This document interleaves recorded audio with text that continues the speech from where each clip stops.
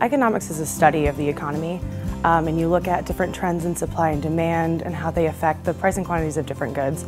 Um, but it's also a different way of thinking. So when you get into your more advanced courses, you kind of look at um, how these concepts affect other parts of the world. So it's not just the study of economics, it's how to make decisions and how to think outside of the box to make those decisions. A lot of people think that if you choose economics, you have to go uh, for an economics degree. But what I've did is I've used that and I've applied to Hult International Business School and I've been accepted uh, to a dual master's program in finance and international business. One of the classes that has helped me uh, get accepted into my grad uh, graduate program was uh, the econometrics class. The econometrics class is usually taken at a graduate level, uh, but Manchester offers it on an undergraduate level.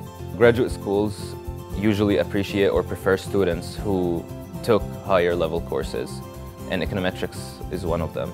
We're actually really excited about two of the new electives that we have. This university does really well in health sciences and has a very strong component in the College of Business. So in kind of utilizing the strengths of Manchester University and the preferences, two of the new courses that we're, we're offering is one in health economics and one in sports economics. Economics is a great uh, major to complement other majors, especially other majors in the business field.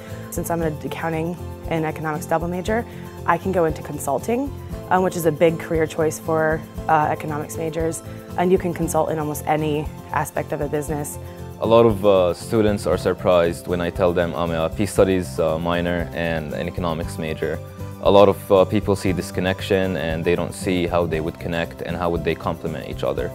Uh, a country could provide stability if their economy is stable.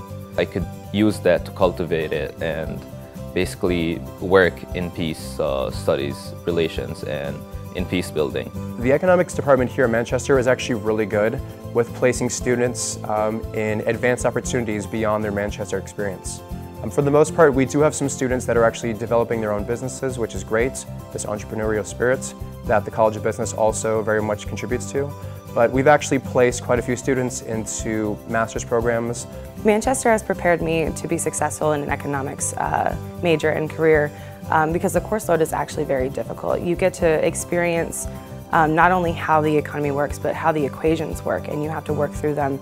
And so it builds your confidence with your math skills, it builds your confidence with your decision making, and it builds your confidence with the overall understanding of the economy.